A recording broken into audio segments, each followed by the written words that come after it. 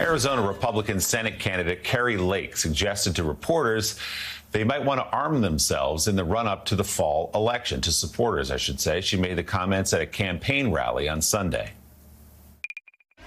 The next six months is going to be intense, and we need to strap on our, uh, let's see, what do we want to strap on? We're going to strap on our seatbelt.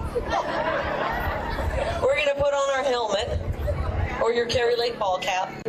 We are going to put on the armor of God.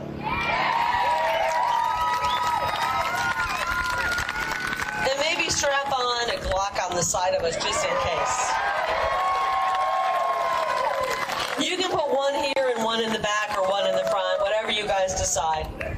Because we're not going to be the victims of crime. We're not going to have our Second Amendment taken away. We're certainly not going to have our First Amendment taken away by these tyrants. Not great audio there. If you couldn't hear it, she said she wanted to put on a seatbelt, put on the armor of God, and yes, a Glock on her hip, and then got into some comments about the Second Amendment.